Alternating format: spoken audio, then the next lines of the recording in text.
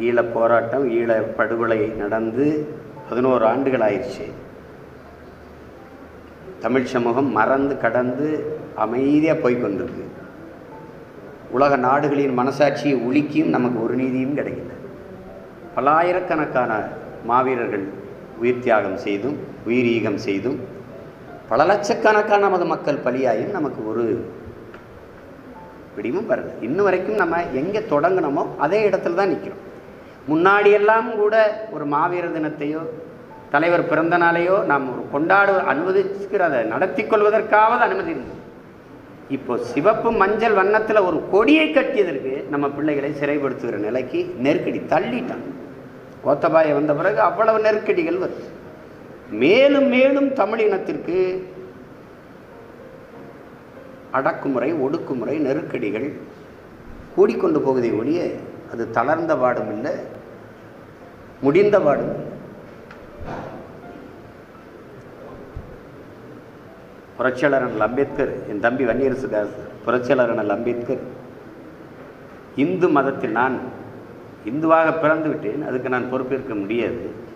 ஆனால் மரணிக்கும் போது நான் இந்துவாக மரணிக்க மாட்டேன் என்று பௌத்தத்தை தழுவ போகிறாங்க இதுக்கு நம்ம தாத்தா ரெட்டமலை சீனிவாசன் அவர்கள் கடிதம் எழுதுனது அந்த கடிதம் இருக்குது நீங்கள் படிச்சிருக்கீங்க. நாம் இந்துவே இல்லை. நீங்கள் எதுக்காக மதம் மாறுறீங்கன்னு கேட்டதை தான் நான் சொல்கிறேன் நாம் இந்த கருமாந்திரம் பிடிச்ச மதமே இல்லை.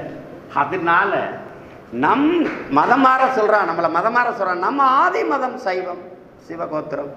இப்போவும் எங்கள் அண்ணன் ஆராசா சொல்கிற மாதிரி சொத்து பத்திரத்தை எடுத்தால் சிவகோத்திரம்னு இருக்குது என்னோட சொத்து பத்திரத்தை பார்த்தா சைவ கோத்திரம்னு இருக்குது நாங்கள் சிவன் முருகனை வழிபடுகிற சைவர்கள் மாயோனை வழிபடுகிற மானியம் என்னைய நீ வெள்ளக்காரன் சார் வில்லியம் ஜோன்ஸ் போட்ட கையெழுத்துல இந்து நாய்க்கிட்டு.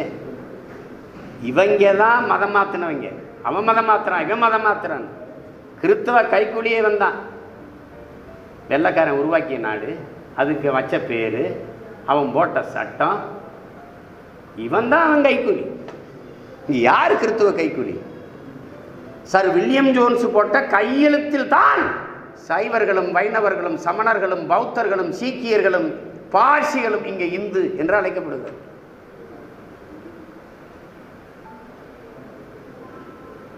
அதைத்தான் புரட்சியாளர் அண்ணல் அம்பேத்கர் என் அன்பிற்குரிய சொந்தங்களை சொல்கிறார் சமய புரட்சி இல்லாது அரசியல் புரட்சி வெல்லாதுங்கிறது அதுக்கு பல காரணங்களை பல உதாரணங்களை சொல்றார். சீக்கியர்களுடைய அரசியல் வெற்றிக்கு காரணமே குருநானக் உருவாக்குன அந்த மத சீர்திருத்தம் தான் மராட்டியர்களுடைய அரசியல் வெற்றிக்கு வீர சிவாஜியின் வெற்றிக்கு காரணம் மராட்டிய குருமார்கள் உருவாக்கிய மத சீர்திருத்தம் தான். ஒவ்வொன்றா சொல்லி வருகிறார். அரேபியர்களுடைய அரசியல் வெற்றிக்கு காரணம் நபிகள் நாயகத்தினுடைய மத புரட்சி தான் சீர்திருத்தம் தான். சொல்லிக்கொண்டே வர கடைசி அவர் முடிக்கிறார் உதாரணம் போதுமா இன்னும் வேண்டுமா? என்று. அப்ப அதிலிருந்து நாம் கற்றுக்கொண்டு நம்முடைய தாத்தா ரெட்டமலை சீனிவாசன் அவர்கள் நமக்கு கற்பித்தது போல பிறப்பின் அடிப்படையில் உயர்ந்தவன் தாழ்ந்தவன் என்று பேதம் பாராட்டுகிற இந்த வர்ணாசிரம தர்ம இந்த சனாதன கோட்பாடுகளுக்கு எதிராக ஒரு தத்துவத்தை ஒரு கோட்பாட்டை நாம் உருவாக்கி கொள்ளாத வரை நமக்கு விடுதலை இல்லை என்று சொல்றது